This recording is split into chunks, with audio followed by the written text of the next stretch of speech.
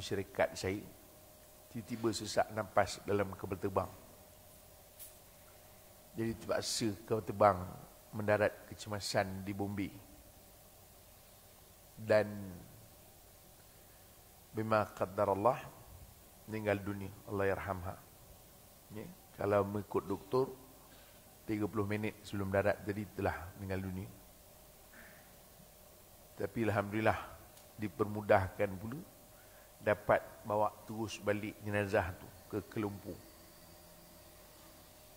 jadi sepatutnya mendarat tadi pukul 11 setengah pagi. Tapi mendarat pukul 12 lebih pukul 2 lebih kat pukul 3 jadi mendarat terus buat urusan dengan polis. Dan lambatlah.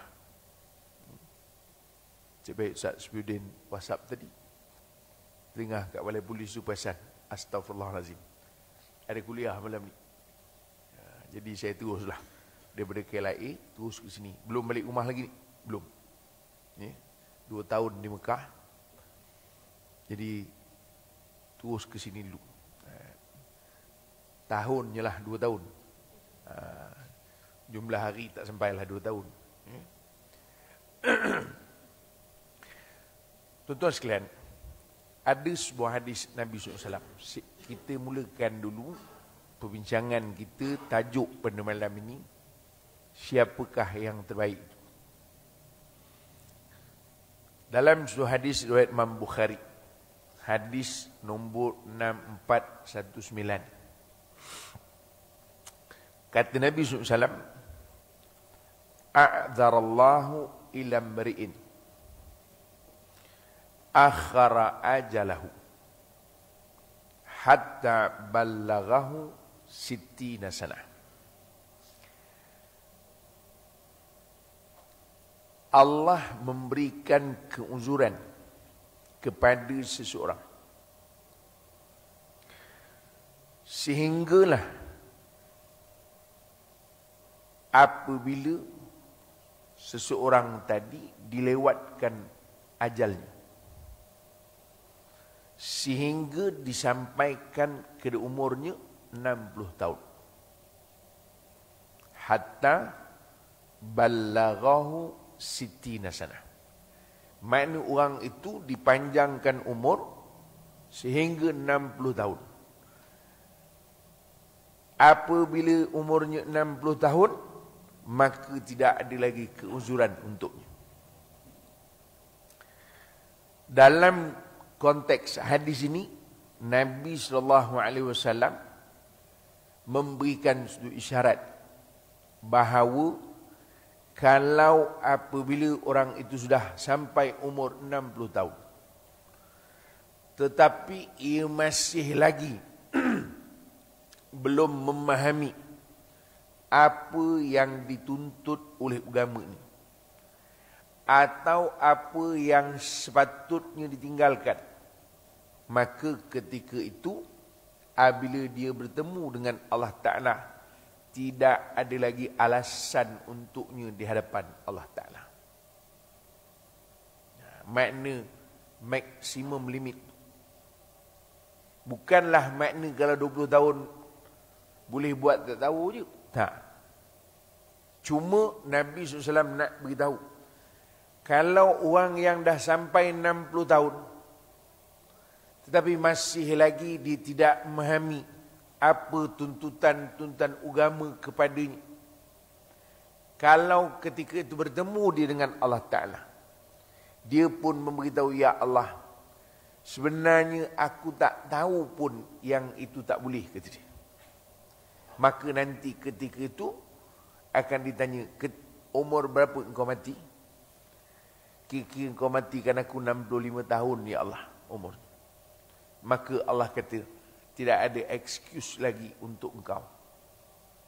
Sebagaimana disebut di dalam hadis Imam Bukhari ini makna tidak ada alasan kenapa engkau tidak tahu. Kenapa engkau tidak memahami. Kenapa engkau tersilap untuk melaksanakan ini tak kerana umur 60 tahun itu menunjukkan cukup untuk Allah berikan dia ruang dan peluang memperbaiki dari masa ke semasa, masa ke semasa. Supaya dia dapat menyempurnakan kekurangan-kekurangannya yang mungkin terdahulu. Katalah memuda dulu semayang tak berapa nak beria sangat. Tapi bila makin berumur, makin berumur, makin berumur, sepatutnya makin sempurna. Ha, begitulah kan. Standard lah. Kita dulu-dulu. Dulu, alah tuan-tuan buat-buat macam tak biasa pula. Ha, sekarang kan bagus. Alhamdulillah. Kan? Kan itulah yang dimaksudkan. Makna kehidupan kita semakin hari berubah lebih baik. Berubah hari, berubah lebih baik. Berubah tahun, berubah lebih baik.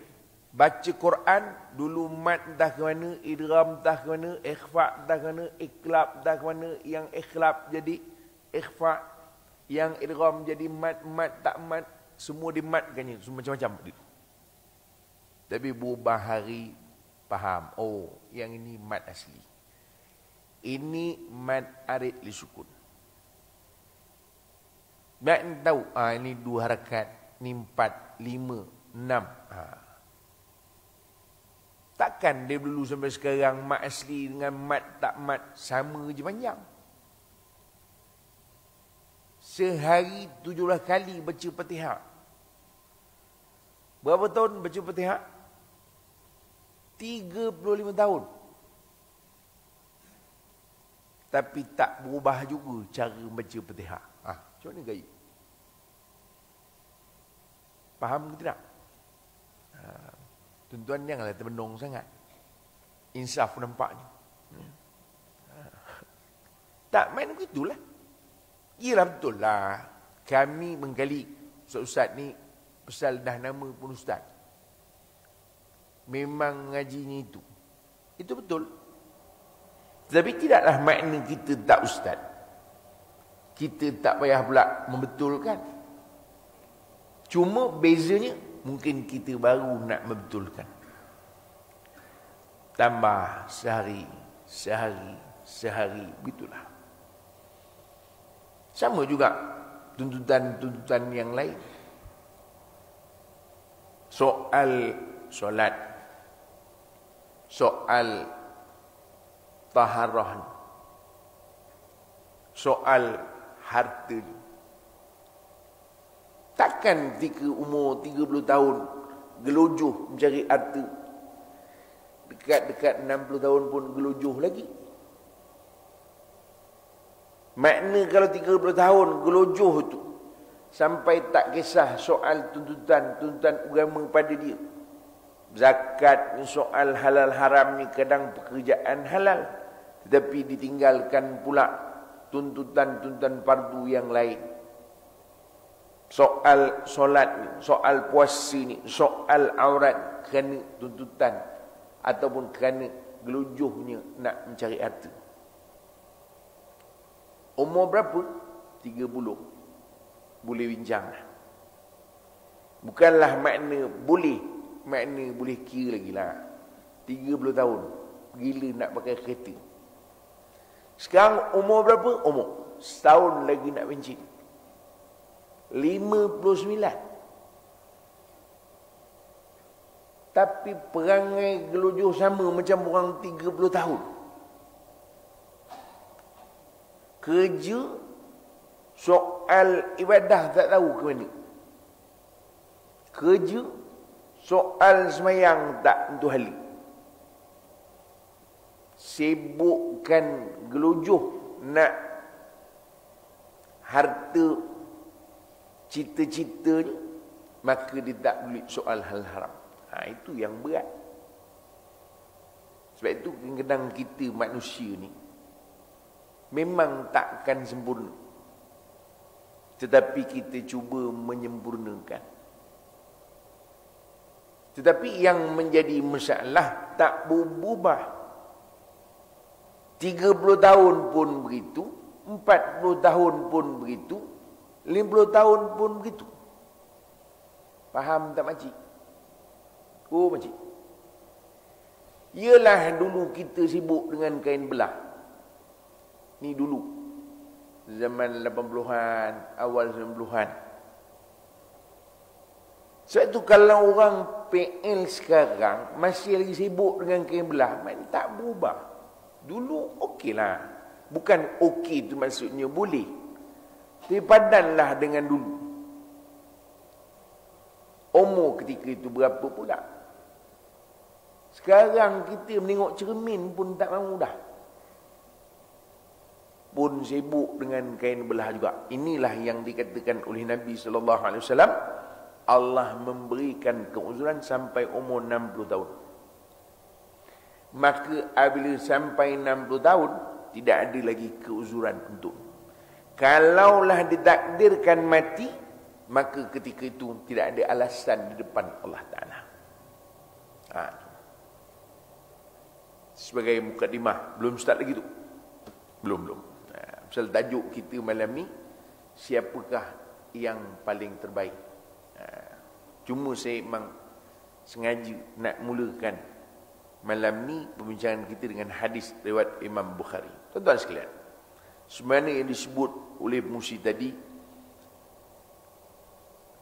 tajuk ini diadaptasi daripada apa yang disebut Allah Subhanahu wa taala di dalam suratul mulk ayat yang kedua. Ha, nanti kang isyak tuan-tuan bacalah. Allah menyatakan di dalam ayat ini a'udzubillahi minasyaitonir rajim alladzi khalaqal mauta wal hayata liyabluwakum ayyukum ahsanu amala wa huwal azizul ghafur. Surakallahul azim. Dalam ayat ini Allah SWT menyebutkan tentang dua perkara alladhi khalaqal mauta wal hayata. Ada beberapa persoalan di sini.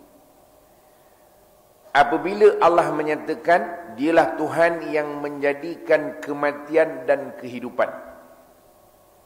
Kalau kita melihat kepada tafsir misalnya Al-Wasid li Tantawi dia menukilkan bagaimana pemahaman kepada ayat ini.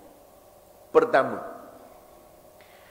kenapa disebutkan di dalam ayat ini tentang kematian dahulu baru kehidupan? Kan? Kalau kita baca terjemahannya allazi khalaqal mauta wal hayata. Dialah Tuhan yang menciptakan kematian dan kehidupan. Jangka pahaman kita menghidupkan uh, menjadikan kehidupan dan mati, betul kan? Mana hidup lepas tu matilah. Ha. Sebab itu kadang-kadang kita baca Quran ni untuk nak memahami kena baca tafsir. Kerana ulama itu dia ada asas untuk mentafsirkan ayat-ayat Allah Taala. Kita ni tukang baca je lah. Ha, tu pun belum tu faham. Baca pun tak faham. Tafsir lagi tak ada harapan. Sebab itu disebut Allah SWT menyebutkan atau mendahulukan sebutan Al-Mauta ya, di atas menyebut Al-Hayata yang menjadikan kematian dan kehidupan. Kenapa? Kerana dikata sebenarnya manusia ini dimulakan daripada kehidupan kematian. Mana mati? Tak ada. Kita kan daripada tak ada, kemudian ada. Kemudian tak ada balik. Makna manusia bukan sedia adanya ada. Ini memang tak ada harapan nak faham nampaknya ni. Tuan-tuan, sebelum ada ni, sebelum ni tak ada. Kemudian dilahirkan, adalah tu. Sebab itulah dia menyebutkan bahawa Allah yang menjadikan manusia daripada tak ada kemudian diadakan manusia itu. Itu maksud dia. Ha, sebab itulah kenapa Allah Ta'ala mendahulukan perkataan menjadikan kematian dan kehidupan. Kerana sifat manusia ini adalah tidak ada. Tak wujud pun. Kemudian Allah menghendaki dia ada. Wujud. Maka lahirlah dia ke dunia. Mengajarkan kita bahawa keberadaan kita sebenarnya adalah tertakluk di atas kehendak Allah Ta'ala semata-mata. Maknanya kalau Allah menghendaki kita tak ada balik. Tak adalah dia. Ha, itu yang tadi apabila orangnya pun dah umur lah 65 tahun wanita. Saya ingat masa awal dulu. Masa diberitahu, kata Ustaz, saya akan, uh, mak saya akan ikut dengan syarikat Ustaz. Baik. Dia kata, mak saya, dia akan datang dengan besan dia. Jadi yang meninggal ni besan dia lah. Cuma minta tolong Ustaz, adjustkan kursi roda. Kerana mak saya nampaknya macam tak kuat berjalan. Okey. Saya boleh sampai di Jeddah, sebab saya dah sampai dulu. Dia pun sampai. Tiba-tiba, mak tadi mak kata orang ni dia kata Ustaz mak saya boleh berjalan mak mentua saya yang perlukan kursi roda. Jadi yang ke diminta untuk mak dia. Tapi mak dia elok berjalan. Mak mentua pula tiba-tiba tak kuat berjalan yang sepatut orang lain pakai kursi roda maka orang lain pula yang pakai ha, nampak nak kata apa? Kerja Allah Ta'ala berlaku. Memang yang meninggal ni tak masuk pun dalam senarai. Perlukan kursi roda. Tapi, yang perlu pakai tak pakai, yang tak perlu dia pula yang pakai. Dan tadi Allah Ta'ala meninggal dunia hari ini. Saya kata dengan anak-anak tadi, kita syukurlah mudah-mudahan dia ini balik sebagaimana disebut oleh Nabi SAW kayaumin waladathu ummuhu. Sudah hari dilahirkan oleh ibu atau sebagaimana dalam hadis Nabi SAW wal umratu ilal umrati kafaratun lima bainahum umrah ke umrah itu mengkafarahkan dosa antara keduanya mudah-mudahan nampak sebab itulah Allah menjadikan manusia dari tidak ada kepada ada. Sebab itu orang jangan sombong sangat. Saat. Sama juga kita. Kita daripada tidak ada ilmu ke ada ilmu. Kan dilahirkan la ta'lamu syai'an. Lahir dalam keadaan tak tahu benda pun, tak tahu. Saya tu tengok budak-budak, tuan-tuan bagi kunci masjid, tuan-tuan bagi dia, botol susu. Mana dia ambil? Eh, susah benar soalan. Budak kecil tu, dia bagi kunci masjid dengan botol susu. Mana dia ambil? Oh, masjid. Botol susu. Wahal botol susu tu. Putih susu tu pun dah dua bulan tak tukar. Maknanya nilainya berapa sangat? Mesdis tu berapa berapa ratus ribu harga sebab itu Allah kata engkau dilahirkan dalam keadaan kau tak tahu apa pun. Jadi Ustaz nak mendapat dadi oh saya ni sebenarnya Ustaz apa yang saya dapat ni inilah letih apa dia panggil? Apa? Jeri peri apa kena bunyi? Betul tak? Saya belajar saya busuk bawa tenang. Saya itu saya selalu tuan kedang pejabat panggil ceramah sekretar. Tuan-tuan tak saya tak payah rasa sangatlah yang tuan-tuan dapat ni kerana tuan-tuan usaha. Kita dekat universiti dulu paling pemalas datang kuliah muka kita lah. Tuan faham ke tidak? Yang paling malas datang kuliah muka kita. Tiba-tiba kita pula yang jadi pengarah. Cuba jawab. Tak mana logik ni? Kat mana logik?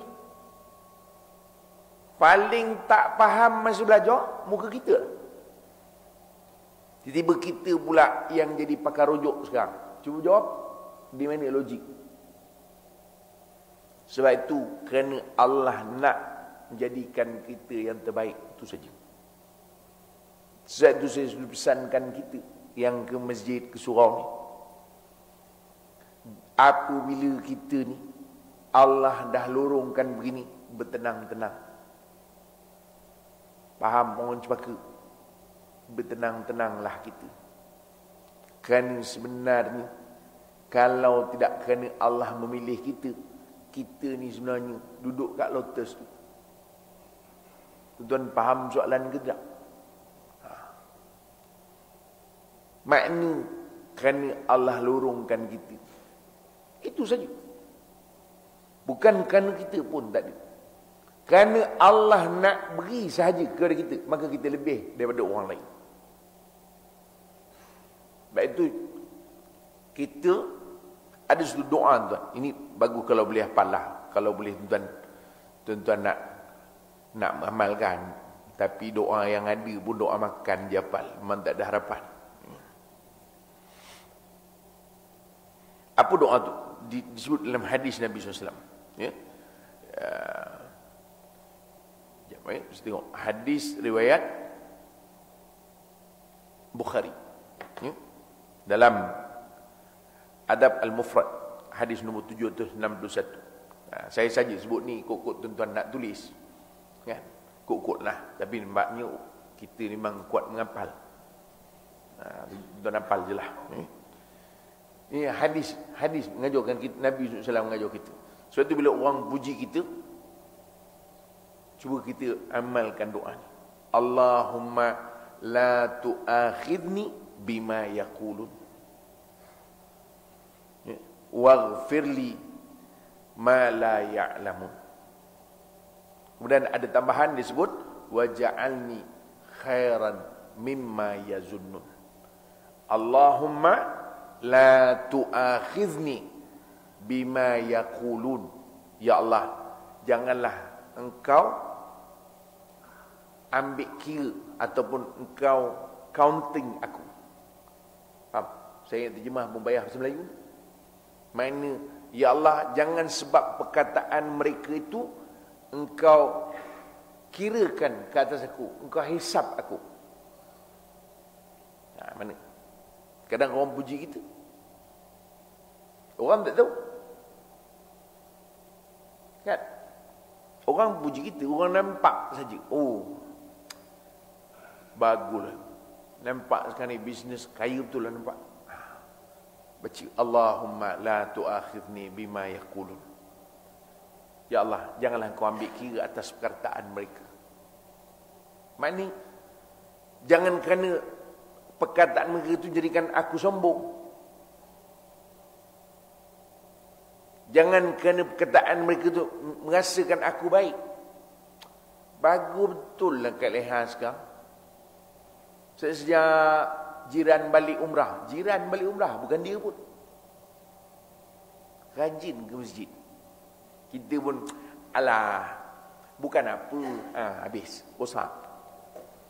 Faham tak makcik? Satu orang puji kita, Allahumma la tu'akhizni bima yaqul.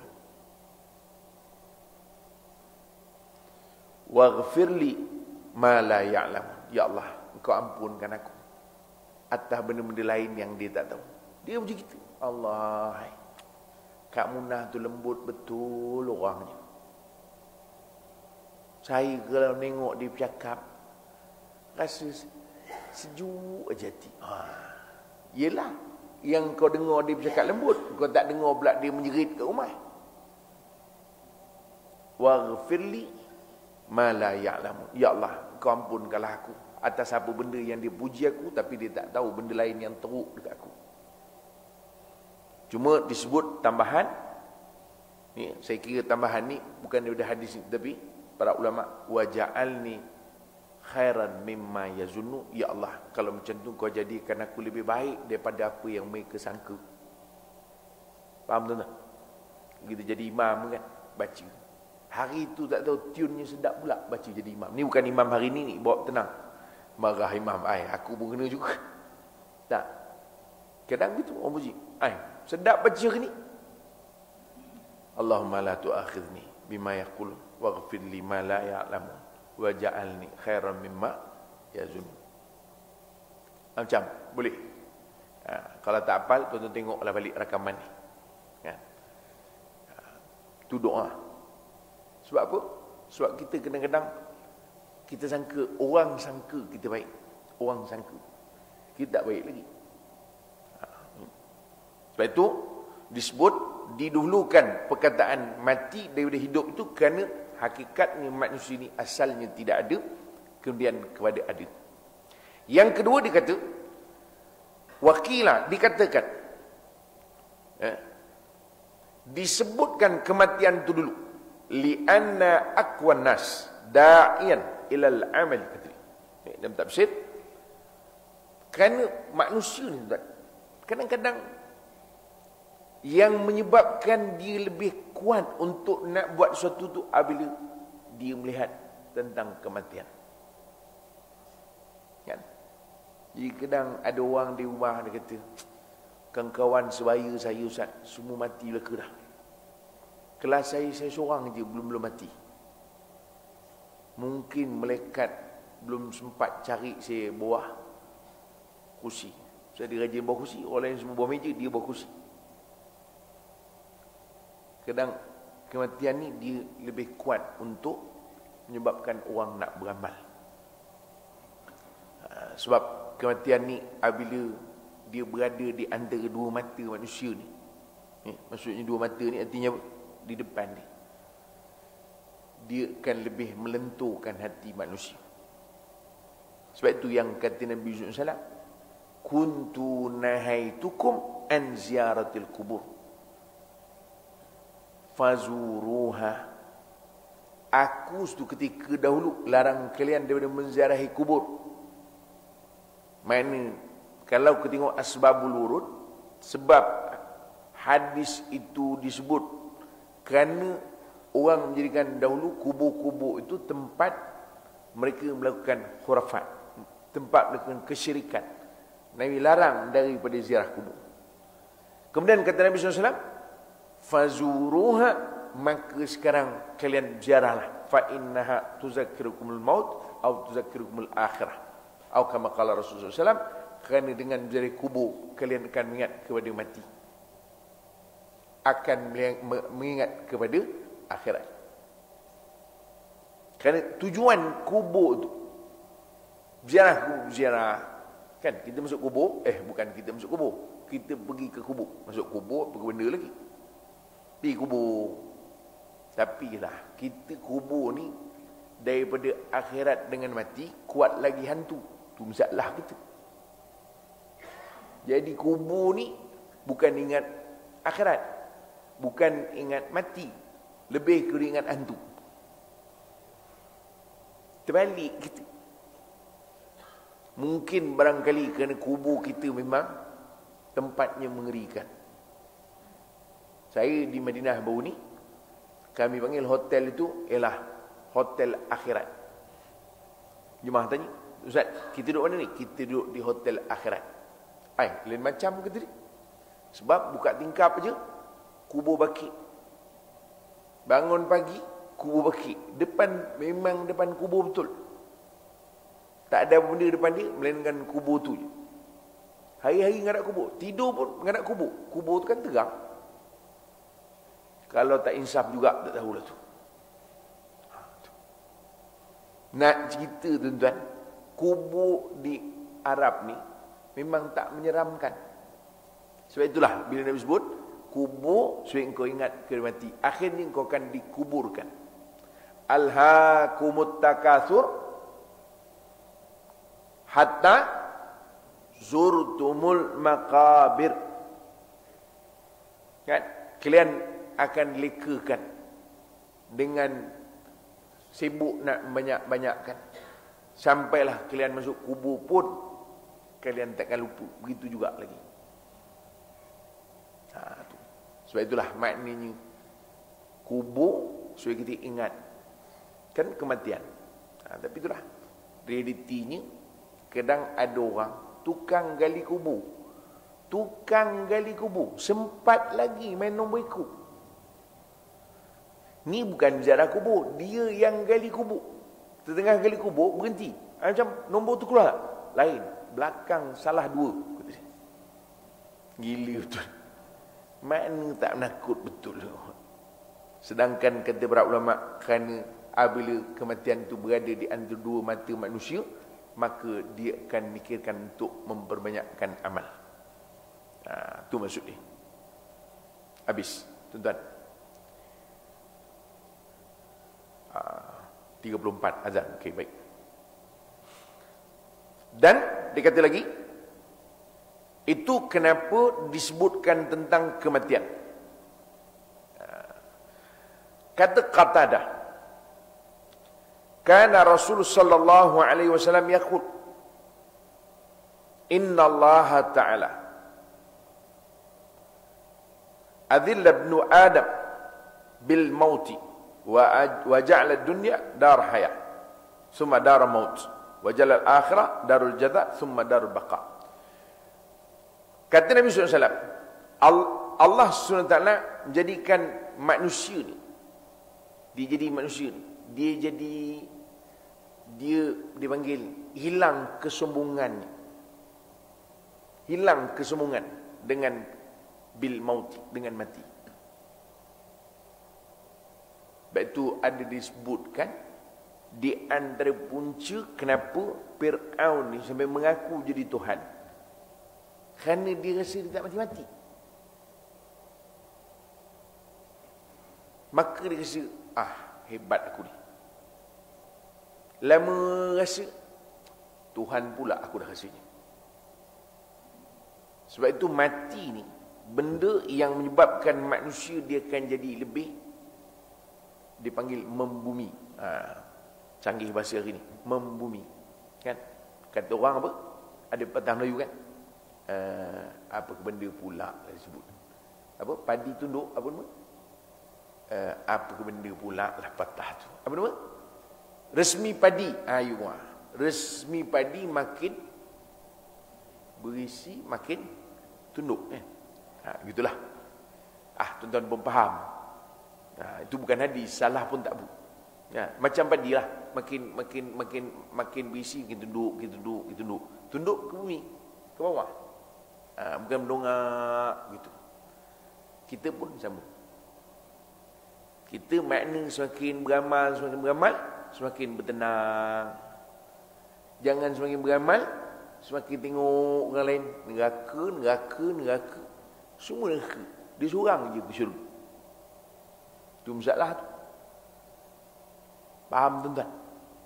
Ha, sebab itu dia kata, Allah Ta'ala, dalam hadis Nabi sebut, Allah Ta'ala menjadikan manusia ni, hilang sifat bongkak, hilang sifat keangkuhan dengan mati menjadikan dunia itu adalah tempat kehidupan kemudian tempat kematian menjadikan akhirat itu tempat menerima balasan dan kemudian dia menjadi tempat yang kekal selama-lamanya. Ha, tu kaedahnya dan saya baca satu lagi hadis Nabi SAW eh, ataupun eh, disebut daripada Abi Darda radhiyallahu anhu anna Nabi sallallahu alaihi wasallam menyatakan laula thalath ma ta'ta ibnu adam ra'sahu al-faqru wal maradu wal maut kata Nabi SAW kalaulah tidakkan tiga perkara ini maka ma ta'ta ibnu adam ra'sahu anak adam ni akan sentiasa mendongak je. Tu mendongak bukan membongak. Tu orang ni sembilan. Lain. Mendongak ni maknanya nyombong. Nyombong. Ada harta nyombong. Ada wangkat sombong. Ada kedudukan sombong. Bagi cerdik sombong. Rajin beramal sombong. Kata Nabi SAW tiga perkara ni menyebabkan dia menunduk. Pertama, al-faqru. Dia jadi pakir. Jarang orang pakai menyumbung. Yang kedua, wal maradu. Orang sakit. Bak. Macam mana hebat pun habis sakit, dia akan mula rasa tak bermakna apa-apa. Yang ketiga, wal mautu. Kerana dengan mati. Itu pertama, fakru, miskin. Pangkat bagaimanapun, tapi kalau miskin, tak ada mana. Dia nak menyumbung apa? Memang keturunan hebat, tapi miskin. Nyumbung tak? Dia beratur nak ambil bantuan, bantuan masjid je, RM50. Dengan gobok rezeki, ada lagi. Kan? Ambil beras. Sibuk nak dia. Tahu tak saya keturunan siapa? Jik tak payah keturunan sangatlah, ambil beras baliklah. Nampak? Tak ada makna. Itu kata Nabi. Tiga benda akan menyebabkan manusia jadi tidak mendongak. Yang kedua, sakit. Kaya bagaimanapun, cantik bagaimanapun, apabila Allah beri sakit, tak ada makna. Tengok orang kaya, darah tinggi, dia kencing mana, ada gaut, ada semua ada. Apa makan? Air putih. Minum, air gosok. Makan, nasi, tak boleh. Gula, kencing manis. Stick, oh tak boleh. Darah tinggi. Kambing, oi lagi, jangan main-main. Apa nak makan? Tu je lah, air kosong sudahlah, kata dia. Duit berapa banyak ada? 18 juta. Tak ada pedah Dan kematian. Tiga. Kita berhenti dulu, sel azan dan masuk. Kita sambung balik selepas ni.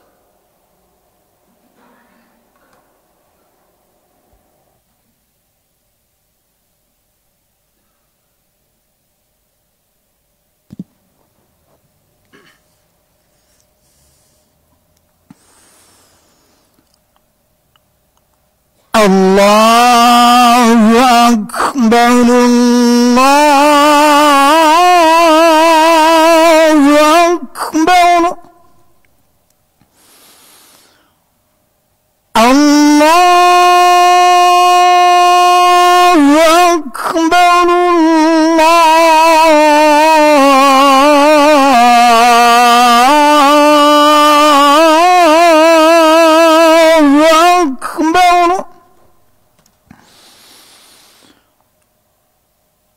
أشهد أن لا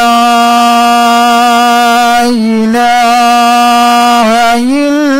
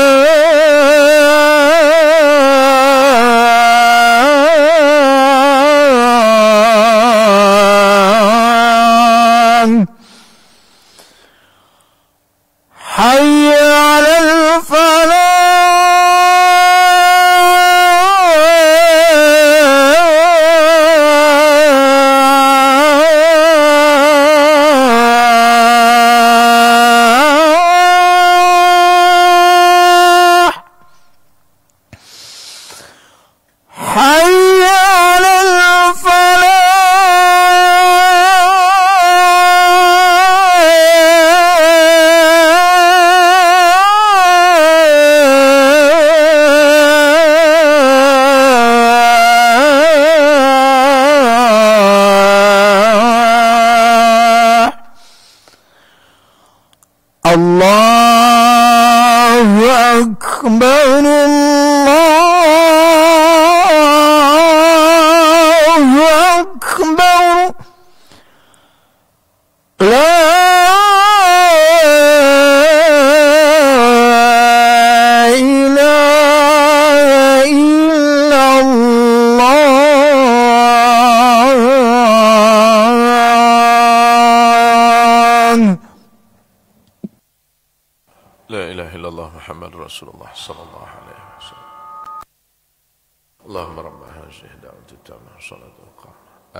سيدنا محمدا الوسيلة والفضيلة والشرف والدرجة العالية الرفيعة وبعثه مقام محمود الذي وعدته إنك لا تخلف Baik, tuan-tuan sekalian, sambung sikit lagi.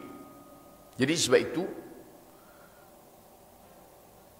kehidupan, kematian dan kehidupan disebut tadi.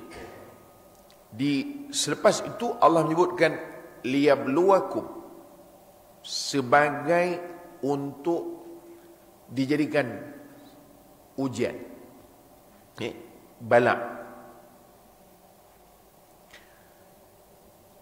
Kita sebut bahawa manusia daripada tidak ada kepada ada. Makna kita dulu tak ada. Kemudian Allah takdirkan kita dilahirkan. Maka daripada kita dilahirkan sampailah kemudian kita ditiadakan balik. Makna dimatikan.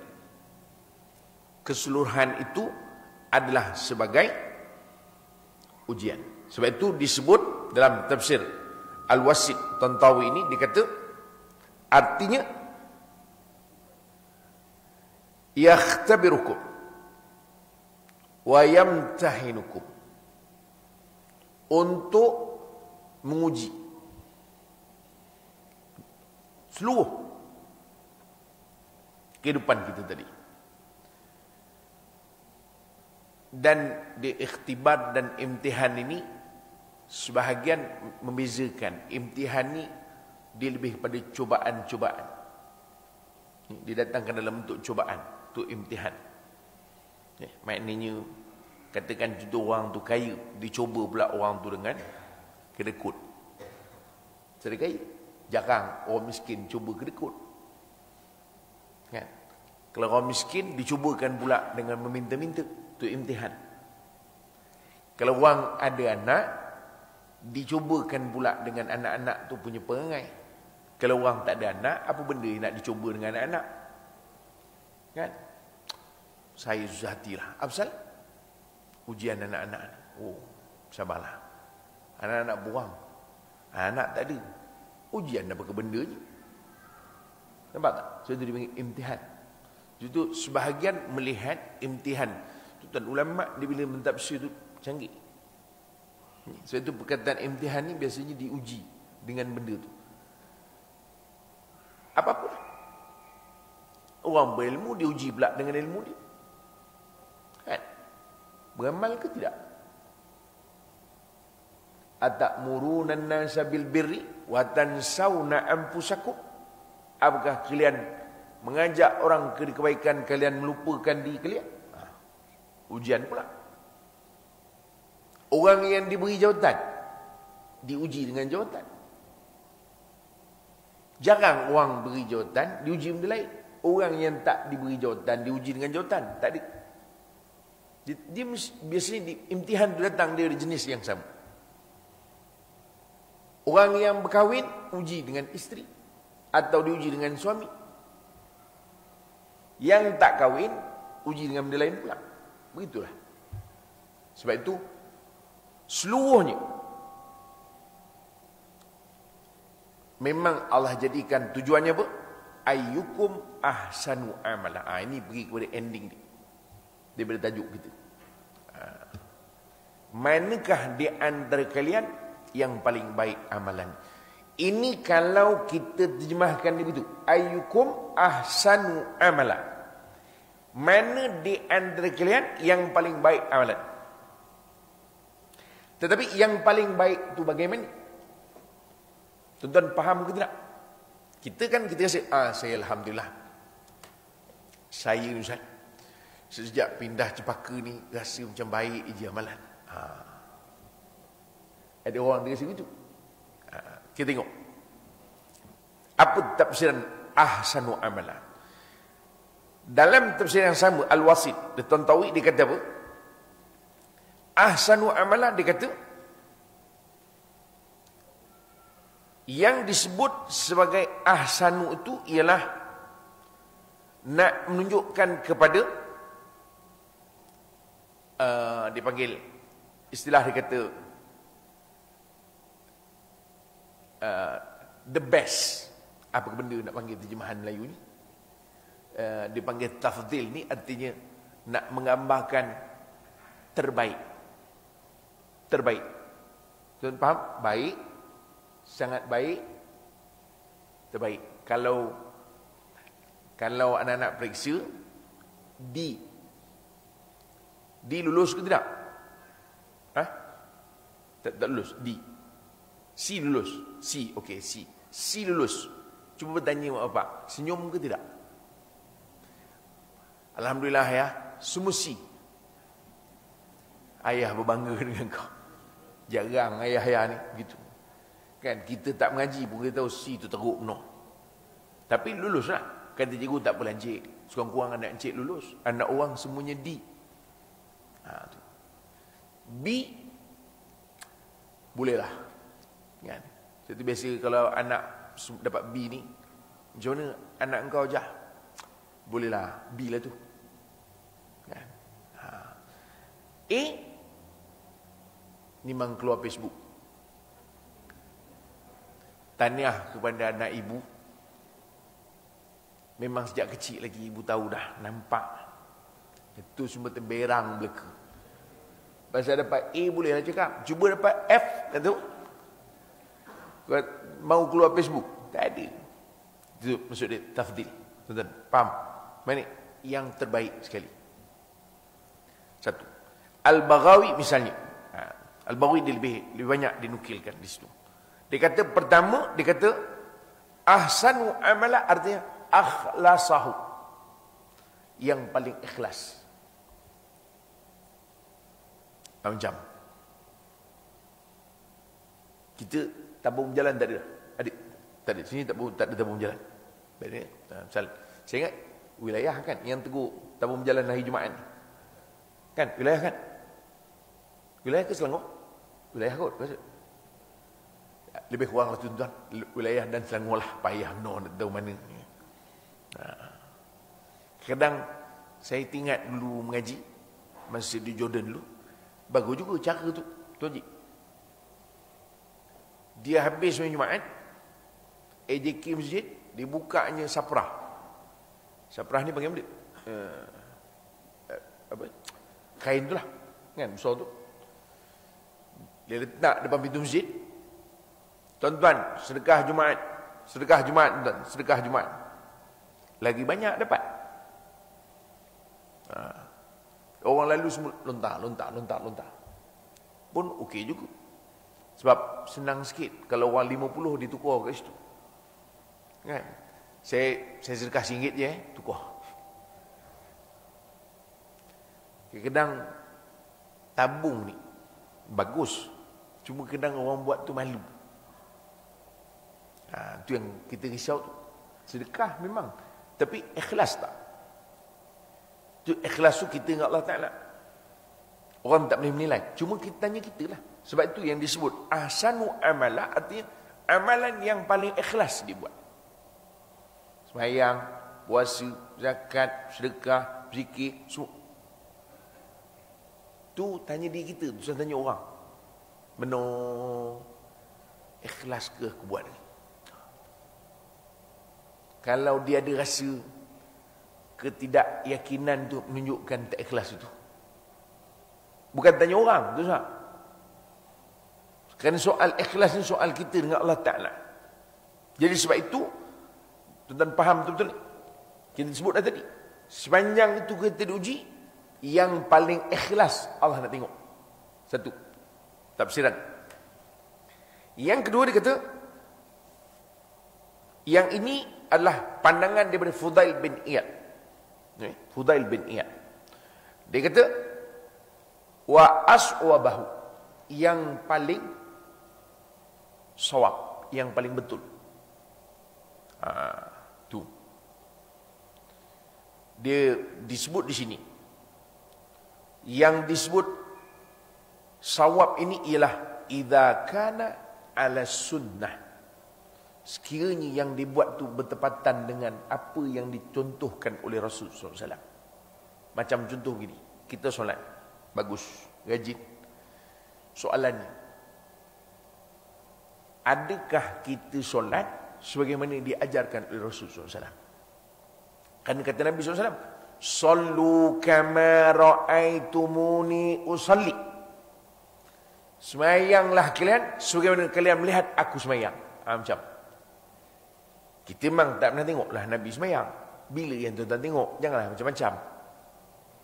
Saya semalam Ustaz. Semayang syak dengan Nabi. Subuh minggu sudah dengan Nabi. Bertenang. Nah, kalau banyak kedai kopi daripada wirid, tak payahlah. Tapi maknanya kita tak tahu. Melainkan ditunjukkan oleh para ulama. Dicontohkan. Sebab itu tuan-tuan maknanya yang kita nak buat yang paling bertepatan dengan apa yang dicontohkan oleh Rasulullah SAW. Dalam bab haji umrah misalnya, khudhu anni manasikakum ambillah daripada aku cara kalian melaksanakan haji dan umrah. Tuan-tuan tengok kadang jadi bahan ketawa bang. Tengok haji baru ni kan. Saya ingat antara sebab haji baru ni antara haji yang yang dilakukan pada zaman TikTok. Ya, betul. Ah, tuan-tuan buat-buat tak ada TikTok pula.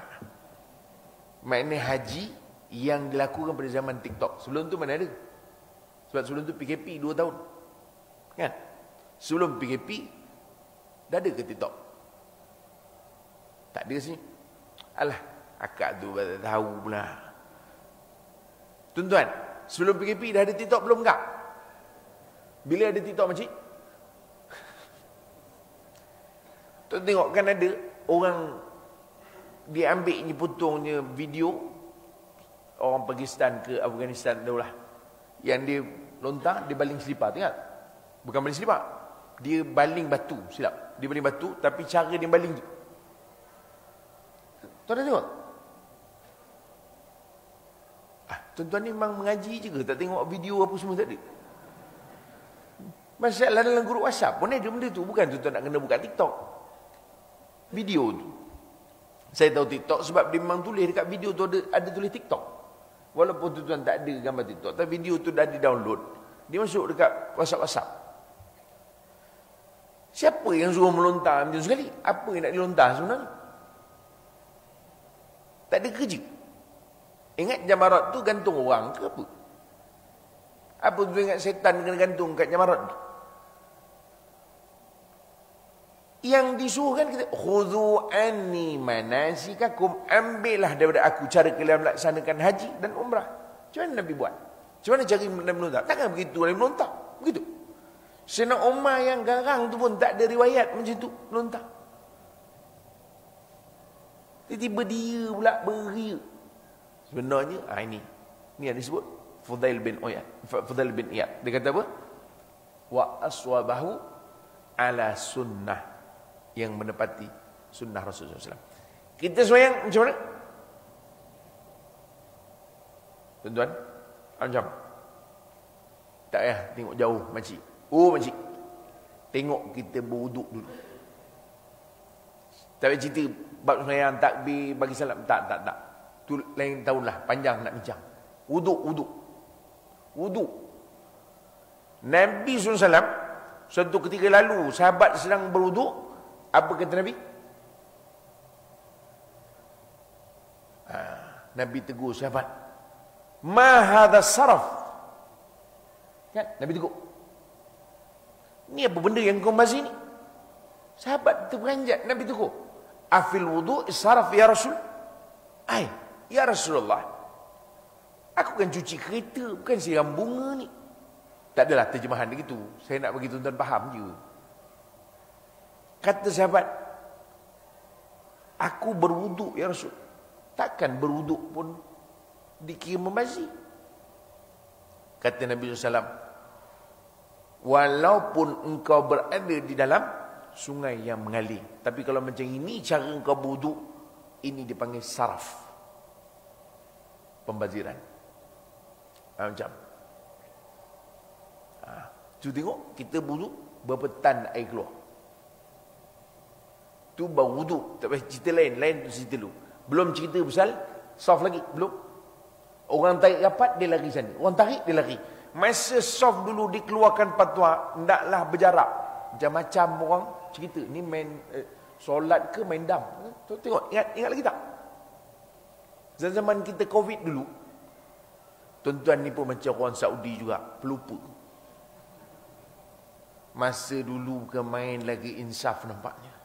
Semoga Allah memberikan kita lagi ruang dan peluang untuk memakmurkan Baitullah ni. Bila dah tak ada Covid, orang datang ramai. Yang tak dapat bilik pun ada. Yang hotel tak dapat pun ada. Yang harga hotel malam lambung pun ada. Dia lupa dah datang. Saya, ialah kita Alhamdulillah tak kena lah. Cuma saya katakan jemaah, kita doakan Covid datang lagi biar padan muka dia. Kan? Berapa ramai yang bawa masuk mahkamah? Hotel-hotel lima bintang bertukar owner. Semua duduk lokap. Dia orang pajak hotel bukan satu juta, dua juta. Puluh-puluh juta. Tapi tak boleh bayar apa dia. Tuan punya bangunan. Tuan punya bangunan pun kena lokap. Sebab tak bayar dengan tuan punya tanah. Ha. Sana dia beri reko. Masa Covid hari itu. Tuan punya tanah saja yang tak kena lokap. Tuan punya bangunan kena lokap. Tuan punya hotel pun kena lokap. Sebab hotel lain orang. Bangunan lain orang. Tanah lain orang. Itu realiti. Sebab itu banyak hotel-hotel di bintang pun bertukar owner. Dan banyak hotel-hotel bertukar nama. Kerana COVID. Tapi bila dia elok balik, dia lupa daratan. Sebab itu elok kita doa biar COVID balik padan muka dia. Marah betul jemaah yang pergi ke Mekah. Tapi kita mikir pula, kalau COVID balik, kita pun tak boleh ke Mekah. Main dam baliklah kita nampaknya. Orang komen main dam, main ni semayang ke main dam? Bila dah tak ada covid, dah boleh semayang rapat, tak nak rapat. Kan kegeram nama tu. Ha, sebab itulah kata Fudail bin Iyad, yang paling ahsanu amala artinya yang paling bertepatan dengan sunnah. Tuan-tuan, dah terlajak 6 minit. Pasal dah disebut format. Yang main jarang ceramah dibagi tu format. Eh, maknanya agak-agak lah kalau ceramah. Jadi tuan-tuan, saya tak nak panjang. Cuma saya nak peringat sama-sama. Kerana kita berada tahun yang baru. Dan mungkin tajuk ni pun ada adaptasi juga daripada tahun baru ni. Supaya cuba tahun ni kita cuba mikir. Bagaimana kita yang dah rajin beramal ni. Kita boleh buat yang lebih tepat dengan sunnah Rasul Sallallahu Alaihi Wasallam. Sedekahnya baik. Badah solatnya baik. Puasa baik. Soal pakaian kita baik. Apa saja supaya kita termasuk apa yang disebut oleh Fudail bin Iyad sebagaimana yang dinukil oleh Al-Baghawi dalam tafsirnya bahawa yang dimaksudkan yang paling baik itu amalannya adalah yang paling uh, dipanggil apa tadi uh, istilahnya yang paling ikhlas ikhlas bagus dah sekiranya tuan-tuan ni ikhlas lah Sekikir. Amin lah tuan. Tuan ni teruk betul. Orang doa ke pun tak apa-apa. Diam aja. Amin. Amin lah. Memudahan. Mudah-mudahan. Kan? Mudah-mudahan. Kadang-kadang kita bukan nak dengar ceramah sangat. Dah termasuk alamak ceramah pula. Kata dia. Kan? Tak apa. Lama-lama kan ikhlas juga. Kan? Ikhlas juga. Nah, macam tuan-tuan tengok jam pukul 9. Ay, memang tak ada harapan ni. Format pukul 8.50. 9 tak habis lagi. Tak, tak habis dah dan mudah-mudahan termasuk kita yang paling menepati apa yang dicontohkan oleh Nabi SAW. Ya, mudah-mudahan amin. Jadi itulah tuan-tuan, target kita tahun ni. Baik tu kalau orang tanya saya, Ustaz, saya semua dah, dah oh, Ustaz-Ustaz aja amalan sunat saya dah buat dah semua. Ada tak apa-apa lagi Ustaz yang boleh? Ha, ada orang begitu. Saya kata, buat yang paling menepati sunnah Rasulullah SAW. Macam mana yang Nabi buat? Kalau puasa Nabi buat macam ni. Contoh, contoh. Memang tak habis nampaknya. Tapi inilah lah, contoh tu habis. Contoh. Nabi SAW berbuka puasa dengan kurma. Ha, tak ada harapan. Memang tak berubah lah. Macam itu je. Dalam hadis, saya dah sebut lah tuan-tuan. Ini tak tahulah tahun ni ada ke tidak. Borak dulu sebelum buka. Dah dua musim lah. Ya, tak tahu ada ke tidak. Nabi buka puasa dengan rutab. Yang mana? Kuning. Tak ada baru dengan tamak. Tak ada dengan tu. Tepung pelita. Itu orang Melayu. Ya. Kalau tak ada dengan air. Macam itulah. Cuba kita buat. Sebab Nabi suka makan sebab rutab dia kurang manis berbanding dengan tamar. Ha, sebab tu yang first rutab. Tapi memanglah mahal. Memang mahal. Tuan-tuan, saya bagi tahu ni bukan saya jual rutab hari ni, bawa tenang. Saya cuma sebut contoh. Ha, dan lain-lain lagi lah. Itu lain tahun kita bincang. Wallahu a'lam. Cukuplah tuan. Ya. Sekat tu dulu. Terima kasih sekali lagi pihak masjid dan alhamdulillah saya sendiri ucap cukup kena sampai juga. Saya cukup risau tadi. Tiba-tiba baru teringat. Ya, alhamdulillah. Mudah-mudahan sikit sebanyak ada manfaat untuk saya dan juga tuan-tuan sekalian. Mudah-mudahan dapat kita manfaatkan dalam kehidupan kita insya-Allah. Dan saya mohon dirilah tuan-tuan ni, saya belum balik rumah lagi dan saya pun masih musafir lagi. Ya, jadi uh, saya balik dulu lah tu je lah ya. Wallahu alam aku qali hadza astaghfirullahalazim li wa lakum assalamualaikum warahmatullahi wabarakatuh أعوذ بالله من الشيطان الرجيم. بسم الله الرحمن الرحيم. الحمد لله رب العالمين. والصلاة والسلام على أشرف الأنبياء والمرسلين. سيدنا محمد وعلى آله وصحبه أجمعين. اللهم اجعل جمعنا هذا جمع المرحومة. وتفرقنا من بعد تفرقا معصوما اللهم اغفر لها وارحمها وعافها واعف عنها. اللهم اغفر لها وارحمها وعافها واعف عنها. اللهم اغفر لها وارحمها وعافها واعف عنها. اللهم اكرم نزلها وسلم مدخلها واغسلها بما ثلج البرانك من الخطايا كما ينقى الثوب الابد دنس وابدلها دارا من دارها واهلا خير من أهل زوجها وكعب بدل قبل وعذاب النار. اللهم لا تحرمنا أجرها ولا تفتنا بعدها. واغفر لنا ولها ولإخواننا الذين سبقونا بالإيمان ولا تجعل في قلوبنا غلا للذين آمنوا. صلى الله على سيدنا محمد وعلى اله وصحبه وسلم الحمد لله رب العالمين تقبل الله منا منكم